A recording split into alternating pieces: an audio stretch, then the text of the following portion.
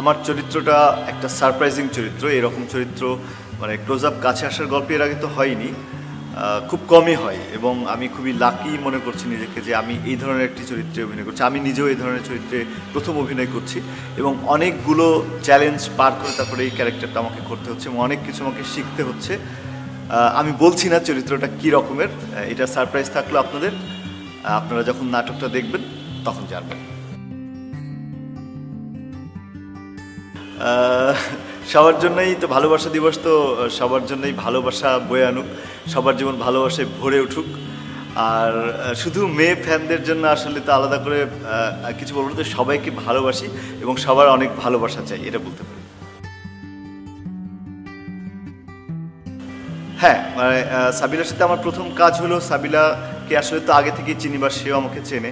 So আমাদের মানে কাজ হতে, ভালো কাজ হতে গেলে একটা বন্ধুত্বপূর্ণ জায়গা দরকার হয়। সেটা তো আগে থেকেই ছিল।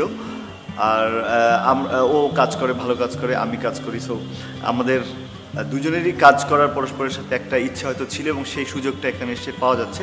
এবং সে খুবই কোঅর্ডিনেটিং ফ্রেন্ডলি এবং কাজের প্রতি খুবই মনোযোগী, যেটা আমি খুব পছন্দ করি এবং ব্যক্তিগতভাবে আমার অভিনয় আমাকে হেল্প করে। সেটা হচ্ছে ওর সাথে। সাবিলার প্রথম গুণটা হচ্ছে যে ও খুব টাইমলি সেটে আসে।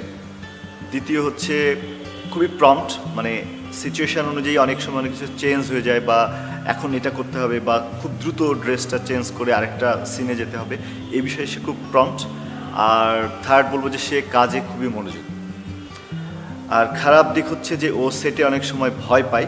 আমি মনে করি একদম ভয় পাওয়া উচিত না, কাউকেই না। কারণ সে তার কাজ করতে আসছে কাজটা করবে।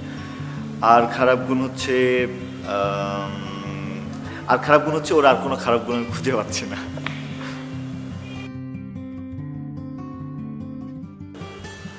অন্য কাউকে যদি বলা হয় তাহলে আলিয়া ভাট। সো সবাই, আমি এবং সাবিলা অভিনীত এবং সাফায়েত মনসুর রানা পরিচালিত। ক্লোজ আপ কাছে আসার গল্পের এই নাটকটি দেখতে চোখ রাখুন বাংলা ভিশনের পর্দায়। ভালোবাসা দিবস, চোদ্দোই ফেব্রুয়ারি, রাত আটটা পঁয়তাল্লিশ মিনিটে।